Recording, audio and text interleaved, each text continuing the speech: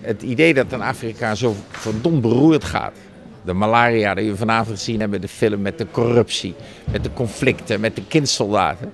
Dat kan snel iets geven van jongens, laten we er maar mee kappen. Dat wordt nooit meer wat.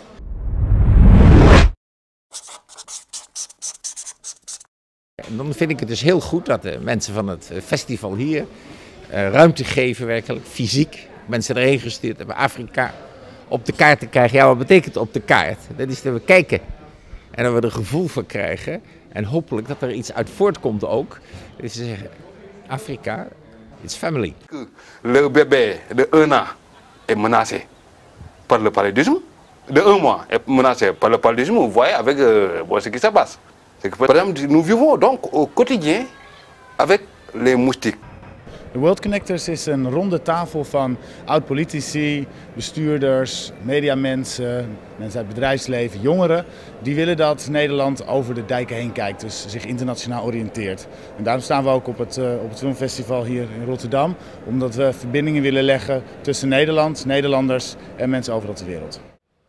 Nou, this magic of becoming connecting by seeing movies, of course.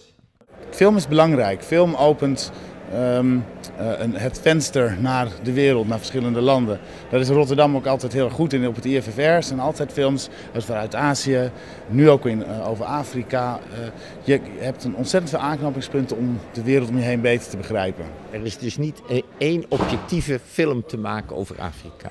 Afrika heeft verschillende dimensies, dus per definitie een beetje, laten we zeggen, bric-à-brac. Maar dat is misschien ook goed, want in die chaos ga je toch verbindingslijnen zien over waar het correspondeert met elkaar. Il y a les pulvérisateurs là, les insecticides, donc voilà. Je me protège un peu. Ah, tu te protèges. Voilà. Mais dites-moi, mais vous, vous ne dormez pas dans un moustiquaire, hein, non Non, non, pas dans un moustiquaire. Simple négligence, je crois bien. C'est une négligence de ma part.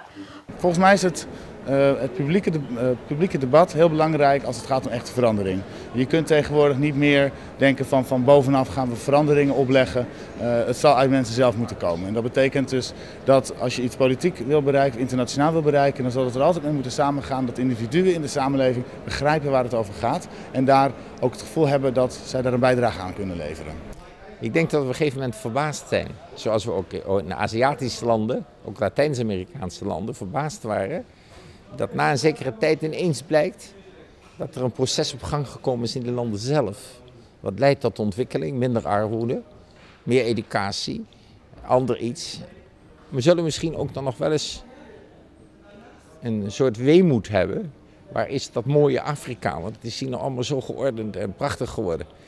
Maar als je zegt, gebeurt dat? Ja, dat gaat gebeuren. Het gebeurt daar trager. Dat heeft veel te maken ook met de voorgeschiedenis. Ik denk ook dat wij onze deur ook moeten openzetten. Niet alleen hè, voor de zielige verhalen, maar ook voor de mooie verhalen. Voor wat wel werkt. En dat wij daar op een persoonlijke manier mee verbinden. En daar kan bijvoorbeeld een, neem een film als Soulboy die op dit festival draaide.